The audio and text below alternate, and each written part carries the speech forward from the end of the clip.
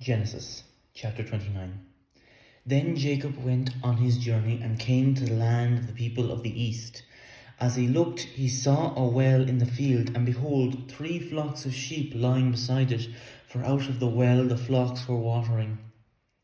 The stone on the well's mouth was large, and when all the flocks were gathered there, the shepherds would roll the stone from the mouth of the well and water the sheep, and put the stone back in its place over the mouth of the well.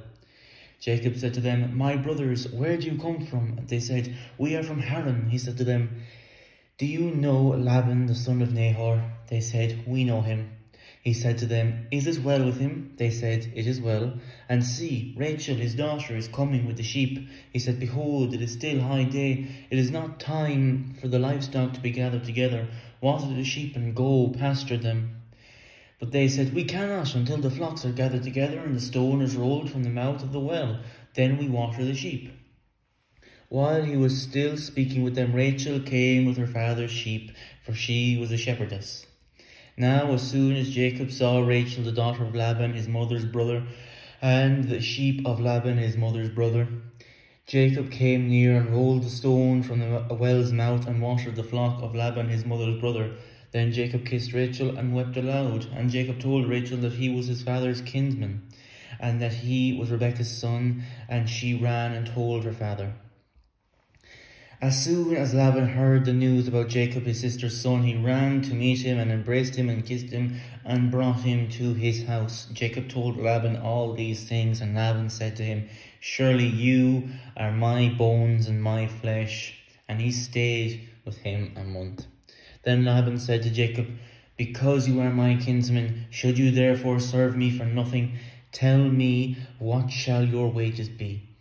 Now Laban had two daughters. The name of the older was Leah, and the name of the younger was Rachel.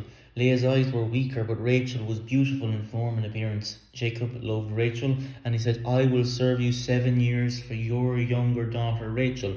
Laban said, It is better that I give her to you than that I should give her to any other man. Stay with me. So Jacob served seven years for Rachel, and they seemed to be but a few days because of the love he had for her. Then Jacob said to Laban, Give me my wife that I may go into her, for my time is completed. So Laban gathered together all the people of the place and made a feast. But in the evening he took his daughter Leah and brought her to Jacob, and he went into her. Laban gave his female servant Zilpah to his daughter Leah to be her servant. And in the morning, behold, it was Leah. And Jacob said to Laban, What is this that you have done to me? Did I not serve you with Rachel, serve with you for Rachel?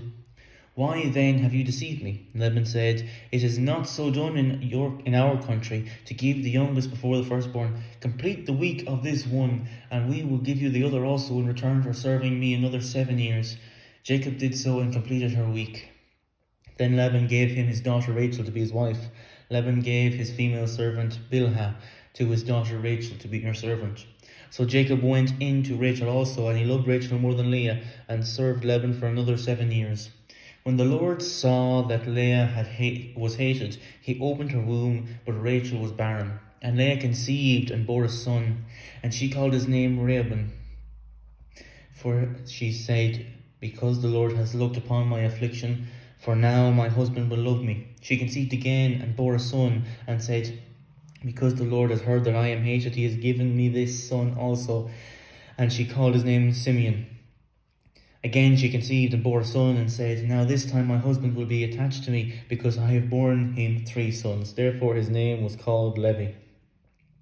And she conceived again and bore a son and said, This time I will praise the Lord.